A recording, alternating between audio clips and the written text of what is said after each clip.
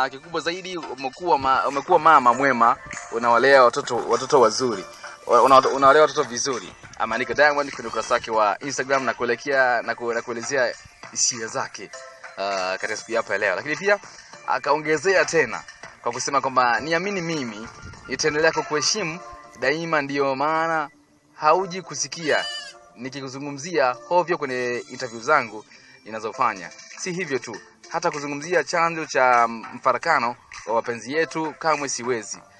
Watoto wetu tu tulijaliwa ni zawadi tosha kwangu. Nitaendelea kukupenda, kukuheshimu na kukuchukulia mam, uh, kukuchukulia kama dada yangu wa damu.